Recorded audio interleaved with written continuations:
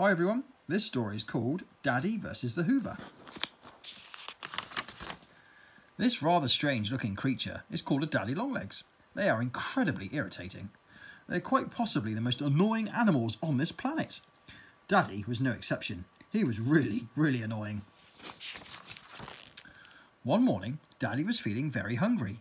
He fancied something sweet and sticky. Daddy wanted a jam sandwich. Mr. Hindle kept the jam on the top shelf, inside the door of the fridge. It was a very special type of jam. It was Mrs. Hindle's homemade plum jam made with the plums picked from the big plum tree at the bottom of the Hindle's garden. Delicious. The Coal Patrol were watching Mr. Hindle climbing up his ladder, picking more plums for the next batch of jams for Mrs. Hindle to make. She, meanwhile, was busy in the garden, hanging out the washing. Good, thought Daddy. I've got time to get me some of that jam. He scuttled into the kitchen and scrambled to the top of the fridge. Mrs. Hindle had left the door slightly ajar, and Daddy took advantage of that. He could almost taste it, but then, disaster! Mr. Hindle had returned inside the house to get himself a drink, but the apple juice was on the bottom shelf of the fridge. He opened up the door to find Daddy looking rather sheepish, sitting on top of the pot of jam, licking his lips. Mr. Hindle was furious. Oi, get off my jam, he yelled.